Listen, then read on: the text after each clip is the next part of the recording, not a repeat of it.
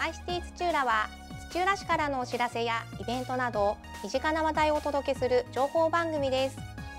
それでははじめに写真や動画でニュースをお送りするフラッシュニュースのコーナーです。今回は第25回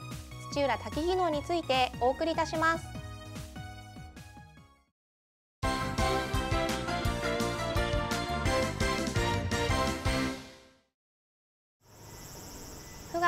日木曜日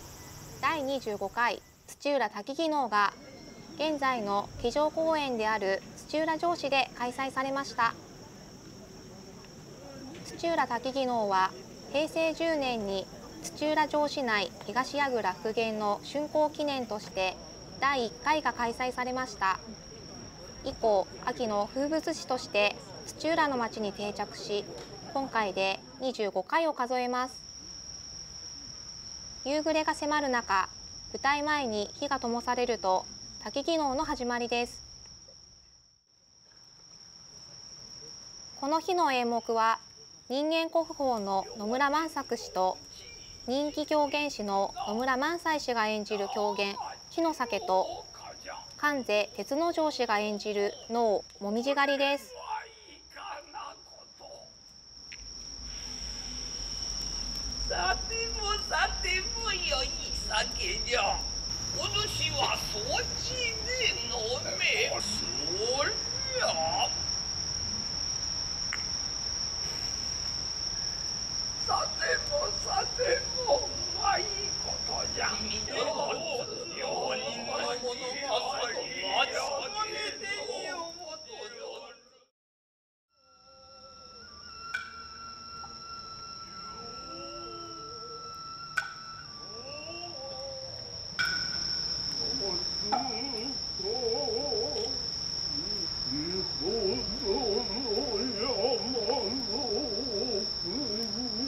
知らないただやごとなき本ことに人間のたぶらかすには会場を訪れた人たちはかがり火に照らし出される有限な舞台を楽しんでいました。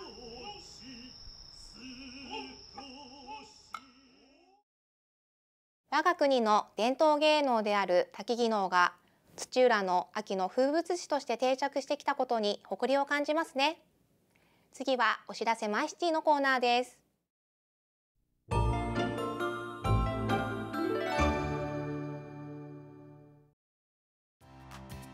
今回は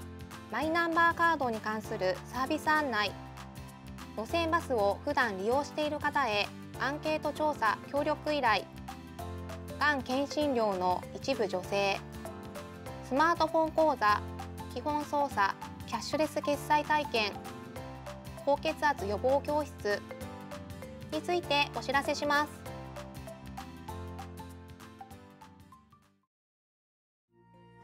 はじめにマイナンバーカードに関するサービス案内についてお知らせします。マイナンバーカードは顔写真付きの本人確認証として利用できるほか電子証明書を利用した電子申請など便利なサービスを利用できます。マイナ保険証は事前登録をするとマイナンバーカードを健康保険証として利用することができます。マイナンバーカード自宅訪問申請支援サービスは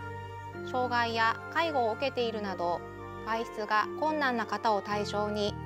市職員が自宅を訪問して申請を受け付けます。各種証明書のコンビニ交付は住民票の写しや印鑑登録証明書所得証明書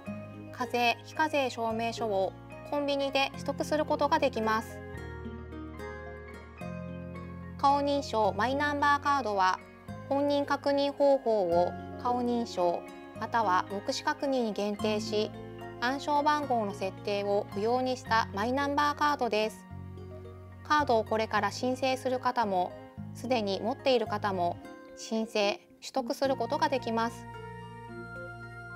引っ越しワンストップサービスでは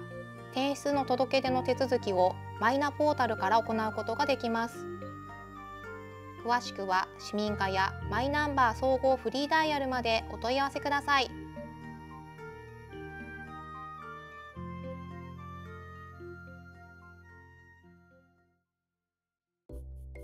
次に路線バスを普段利用している方へアンケート調査協力依頼についてお知らせします。市内路線バスのサービスや快適性の向上のためアンケート調査へのご協力をお願いします。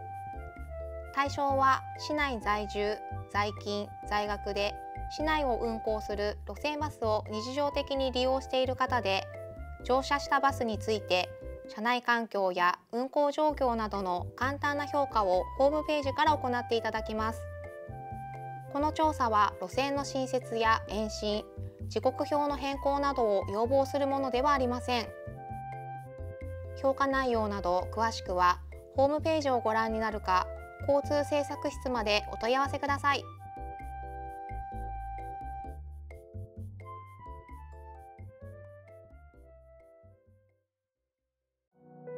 続いてがん検診料の一部助成についてお知らせします。がんは早期発見することで早期治療ができ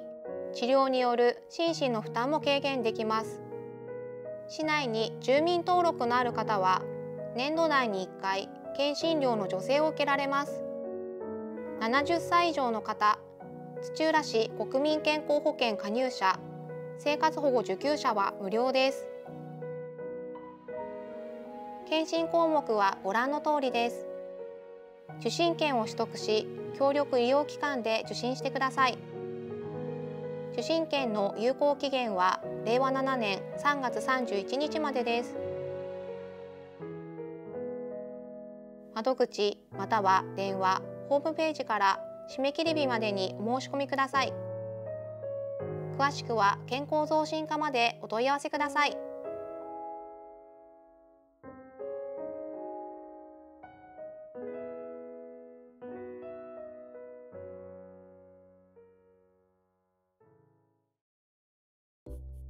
続いてスマートフォン講座。基本操作キャッシュレス決済体験についてお知らせします。Android ユーザー向けの講座は11月15日金曜日。iPhone ユーザー向けの講座は11月19日火曜日でいずれも男女共同参画センター研修室で開催します。市内在住の方が対象でスマートフォンの基礎知識を学び PayPay を使用したキャッシュレス決済を体験していただきます。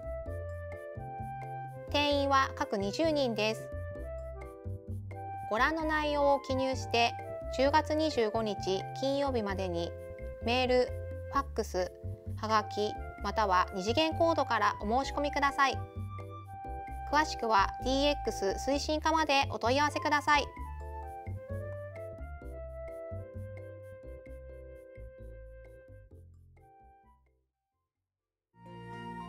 最後に高血圧予防教室についてお知らせします。11月9日土曜日午後2時から土浦市保健センターにて開催します。市内在住で血圧が高めの方またはその家族が対象で高血圧症を予防するための食事と運動について学びます。10月7日月曜日から31日木曜日までの間に電話または二次元コードからお申し込みください。詳しくは健康増進課までお問い合わせください。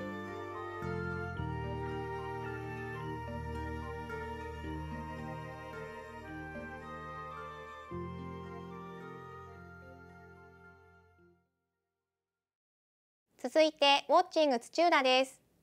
今回は土浦市が参加している茨城県の市町村対抗グルメイベント新茨城飯総選挙2024において土浦市のメニューを動画にまとめましたのでご覧ください。